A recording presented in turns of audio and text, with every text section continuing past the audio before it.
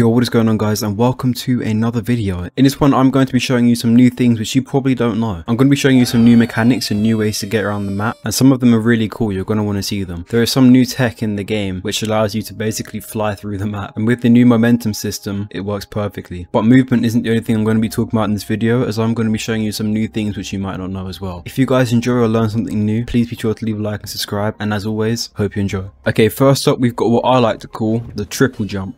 To do this, you do the double jump, but then right as Aiden groans, if you press your left click or your melee button, it will further project you up into the air. This is extremely useful and I use it in my day-to-day -day parkour. It's very useful for getting up ledges which you otherwise couldn't make, although using it with the double jump isn't the only thing you can do. You can also do it when jumping off the head of zombies. So if you use your zombie jump thing when you jump on their heads and then you time it right, you can actually elevate yourself further as you can see in the clip. Here's a normal jump and here's the jump with the tech.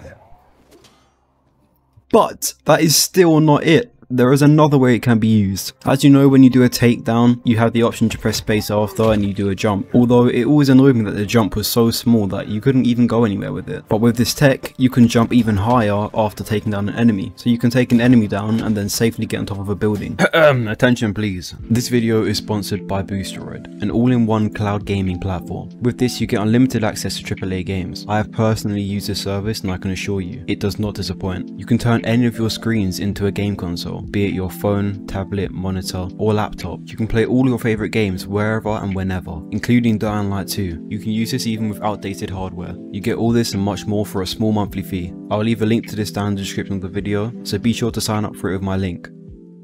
Anywho, alright, next up we've got the ground pound. Now usually to do a ground pound you need to be airborne, however you can actually do a ground pound while you're crouched or just standing still. Now I currently don't know how to do it, I do it by accident sometimes, literally. I'll try my best to figure out how to do it exactly, but if anybody knows do let me know in the comments. But there is a way to do a ground pound from a static position, that's all I can give right now. Next up, so with the new update, toughness boosters actually make so that volatiles do absolutely no damage to you whatsoever. Um, I'm not sure about lower levels, but definitely the higher levels, they do no damage. As you can see right now, I'm taking absolutely no damage from the volatiles. So it's 100% crucial that you have them. A regen booster as well would be helpful, as you can still take damage from spits.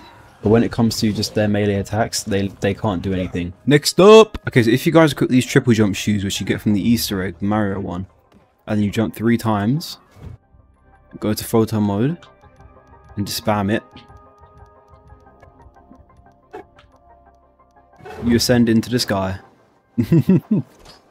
so yeah, you basically can just fly with these shoes. It's pretty cool. You may have known, you may not have known. I don't know. Next up! The super drop kick.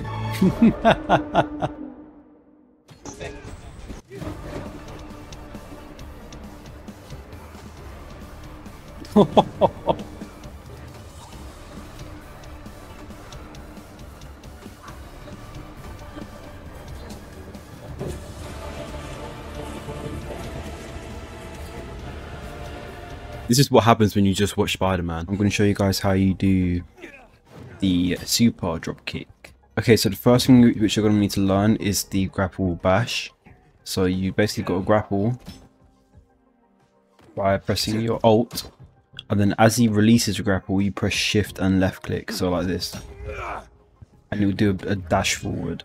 But, hold on. If you do it on a wall, I mean, you go far, but not as far as if you do on the floor. Not right in front, but a bit ahead, like that. You fly forward. Just like that. And then if you just pair that with a drop at the end, you fly even further. But it's going to be tricky at first. You're not going to be able to do it immediately. It's going to take you a bit to get used to the timings. Because there is a very specific timing of which you have to do the dash. As the hook gets released, you quickly press shift and then your left click very quickly and you do the dash forward. And you have to have the max level grappling hook available to you. You can't you can't do this on a low level grappling hook. Once you do that, you just pair it with a drop kick, and you fly even further. If you want to get some more distance, you go on top of a roof, and then you fly. Flew all the way from up there down to here in two seconds. I hope they don't take it out of the game. I don't want it to get patched out because it's fun to do. It's literally one of the reasons I'm playing the game right now, because of how fun it is just doing this. Anyway, on to the next thing. Now I've got a very dumb one here, which really should not be in the game, but you can actually just clip through any wall you want. So if we vault onto this ledge and then just simply left click and do a swing kick, as you can see, hold on. You can swing through any wall you want just like that. And we are inside the building. You can also come out wherever you want, wherever there's a gap. But just like that, we have popped through the it. And you can do this anywhere where there's a vaulted, a vaulted place. I could do it right here if I wanted to. There we go. You can you can just go through any wall just like that. It's it's ridiculously stupid.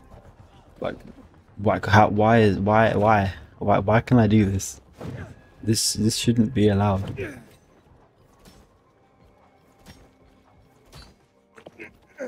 But yeah, there you go. Next up, another thing which you guys may not know is that you can actually use camouflage and it works around volatiles now. So before the Good Night Good Luck update, camouflage would work on normal zombies, but it wouldn't work on any special infected like goons or volatiles. Now, if I take it, the volatiles themselves can't even see me, so I can basically just run around in the night for as long as I want without being seen, basically.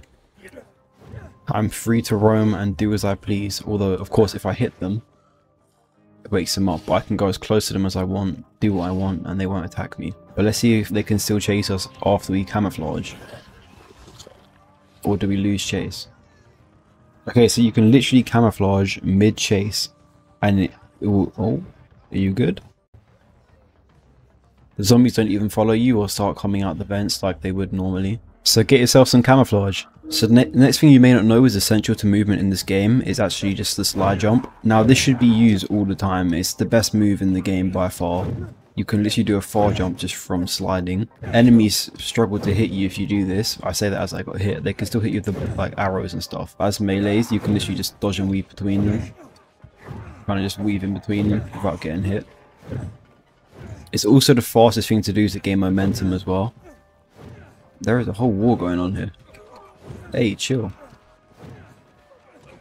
But yeah, this is by far the best move. And I don't see a lot of people utilizing it as much as they should be doing.